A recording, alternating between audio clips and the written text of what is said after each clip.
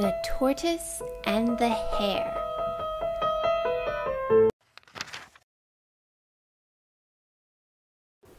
Once, in the forest, there was a sports competition.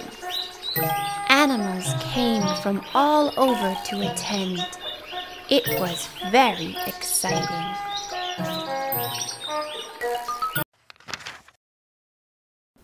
The hare, seeing that the tortoise was an easy opponent, decided to race him.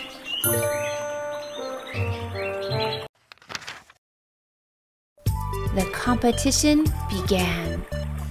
The hare took off like an arrow.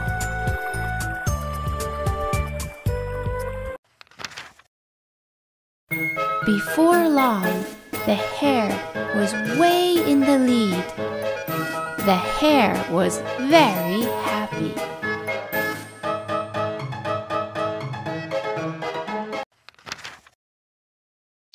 The hare ran under a big tree.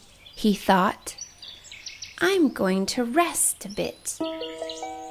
There is no way the tortoise will catch up with me.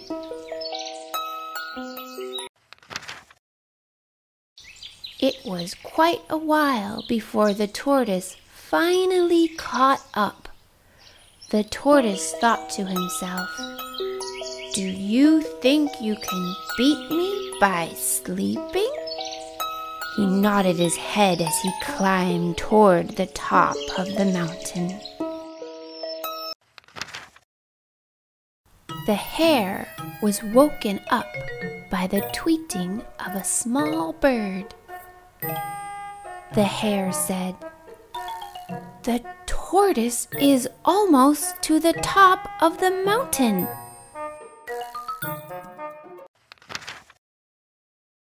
Now the hare was really worried. He dashed up the mountain. The tortoise could hear the hare catching up, so he sped up the pace.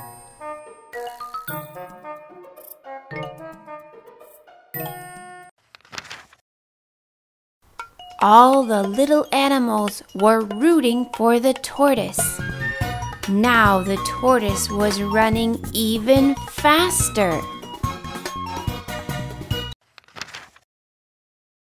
The hare tried as hard as he could to catch up, but the tortoise was already standing on the award podium.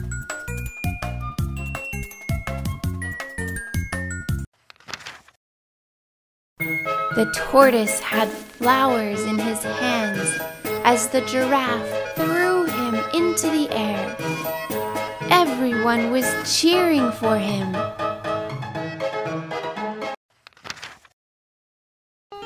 The hare looked on with envy as he stood off to the side. He was very ashamed.